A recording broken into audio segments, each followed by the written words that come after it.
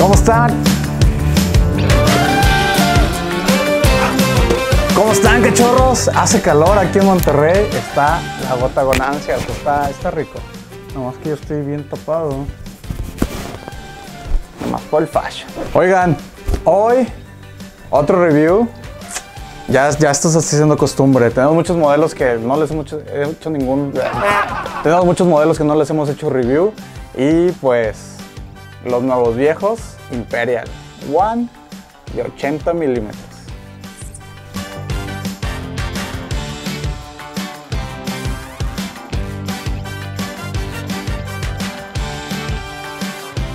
Les decía, estos patines es una versión combinada entre lo nuevo de Power Slide con lo tradicional de hace 5, 7 años aproximadamente. Podemos ver que viene entre básico y no.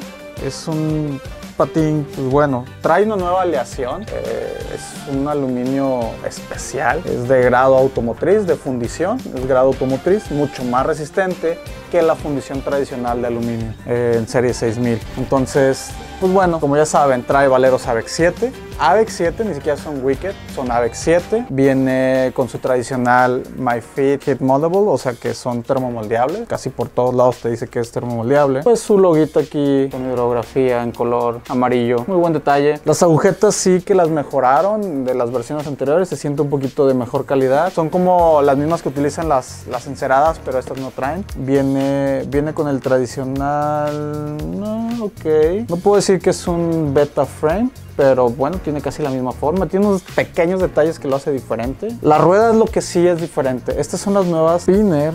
Ay, no se ve. 80, 88A. Antes eran 85, luego 86 y ahora son 88. La verdad es que tienen buen rebote. Para ser 88 están muy bien. Me latieron. Tiene su túnel de ventilación en la, aquí en la, en la parte de abajo, en la planta donde está el arco. Los acabados del molde no se ven de la mejor calidad. Aquí se ve donde rompe.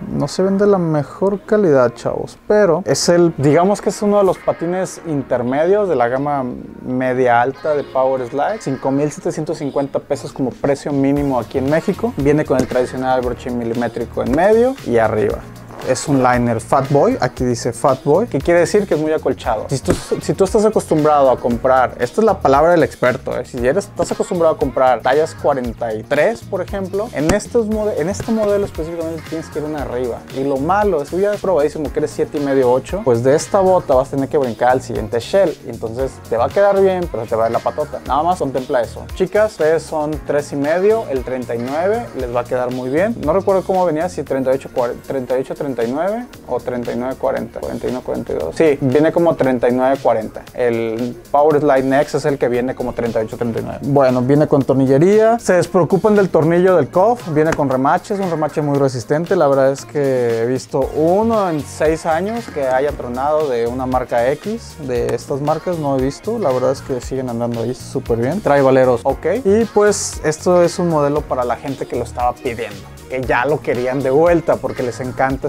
este modelo en 80 milímetros. Por ahí lo sacaron así como en la pandemia en 110, pero pues no gusta, es el negro con detalles rojos en 110 con su frame eh, troquelado que se rompe. No lo compren chavos, ya no lo compren, no lo compren, es fitness, no es de free skate, se rompe, es super fitness. ¿eh? Uh, bueno, oh, acabo de ver esto, esto es nuevo, no lo traía, muy bien. Le hicieron unos pequeños tweaks al, al molde, súper bien. Estos reviews así me están gustando para que los veamos juntos, qué bien, qué bien. Unos pequeñitos detallitos que la verdad son useless, pero bueno, ahí está. Eso ha sido todo. Recuerden, darnos like, les dejo los links de compra.